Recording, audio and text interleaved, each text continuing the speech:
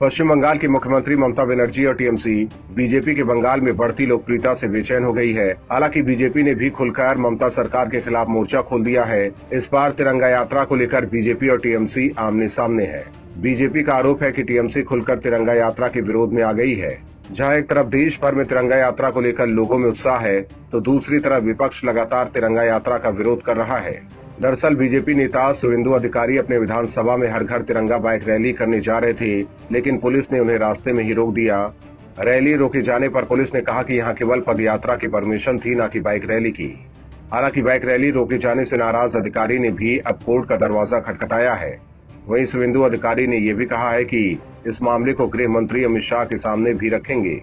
उन्होंने कहा कि तिरंगा यात्रा के लिए भी अब हमें अनुमति चाहिए, ये पाकिस्तान है या इस्लामाबाद। हर घर तिरंगा कोई राजनीतिक या धार्मिक यात्रा नहीं है। उन्होंने कहा कि हम बस शांतिपूर्ण तरीके से बाइक रैली निकाल रहे थे। पुलिस अगर रैलियाँ रोकना चाहती है तो रोके।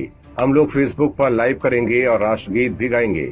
उधर बीजेपी का कहना है कि हर घर तिरंगा यात्रा को देश भर में समर्थन मिल रहा है। आज़ादी की पचहत्तरवीं वर्षगांठ के तहत आज से हर घर तिरंगा अभियान की शुरुआत की गई है।